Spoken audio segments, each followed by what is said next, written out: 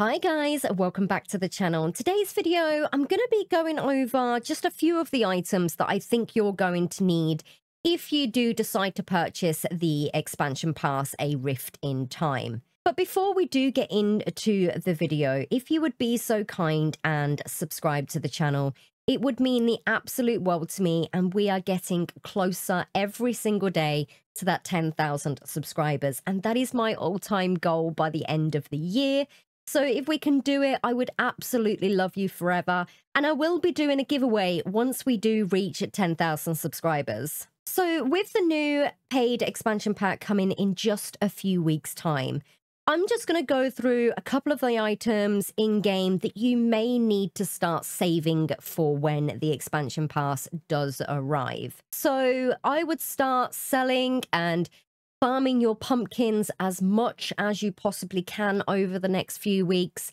because you're going to need a lot of coins. As you know from the main valley, Scrooge is very, very expensive. He likes those high prices. And in the new expansion pack, there are such things as the Magic Wells. There's going to be a Chez Remy's over there, and there's even going to be another Scrooge's store. So you're going to need to upgrade these. So get your coins, start collecting them, and the best way you can possibly do it if you've got the Forgotten Lands unlocked is literally farm pumpkins non-stop for the next couple of weeks.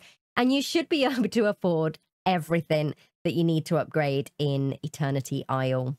Other things that I would start unlocking is maybe some of the recipes, food recipes because we are getting three characters, which is Eve, Rapunzel, and Gaston, and they are going to have their favorite items. So if you haven't unlocked all of the food recipes, maybe start going through and unlocking those. We're also going to be getting two other characters within this paid expansion. We just don't know who they are going to be just yet. I would definitely start unlocking some more of those food recipes. Other things that I would start preparing for is hoarding a couple of iron ingots and sticks and clay and things like that. We all remember how Minnie wanted all of that clay. So I would hoard, say, 50 of each of the resources in a storage box somewhere. I always keep 50 aside in my storage of each and every single resource. And then I start selling them if I've got more than that. So a hint there, just start hoarding a lot of resources um, in case we have any quests that require giving them some resources. I can't think of anything else that you would need, but I would definitely start collecting those diamonds and hoarding them over the next few weeks.